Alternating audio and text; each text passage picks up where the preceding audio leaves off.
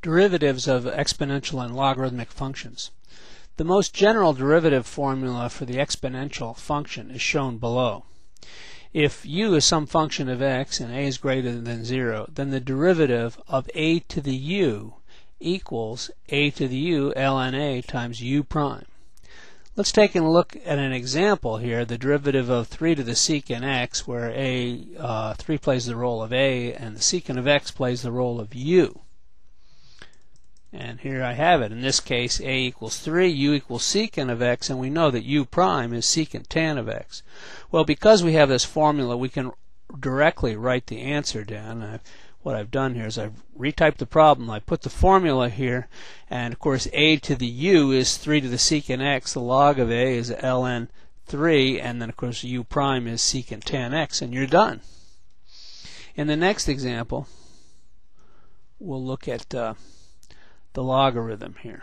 The most uh, general derivative formula for the logarithmic function is shown below. The log of u base a, where u is some function of x and a is greater than 0, uh, is uh, u prime over u ln a, a very easy formula.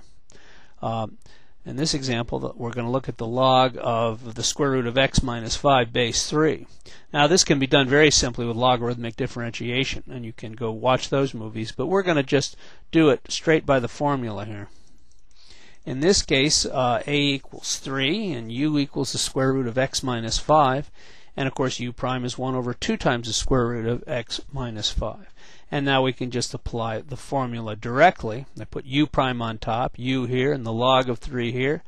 And simplify a bit, you know, bring this up to the bring this up to the denominator, and it becomes x minus 5, and you get this result, which is uh, the answer, okay, the derivative of this function, okay.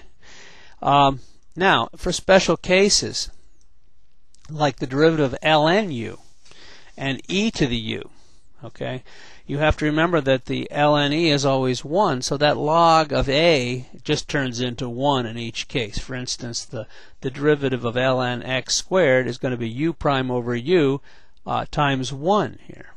And you'll end up reducing it to 2 over x. Another example of that is um, when you have e to the sine x uh, this derivative of this. By the way, here's a prime here. That's what that means. Take the derivative, and here we have prime here. And in this case, uh, it is e to the sine x times the cosine x. Uh, and this ln e is just 1, so it just becomes e to the sine x cosine x, and you can leave that ln a off if you want.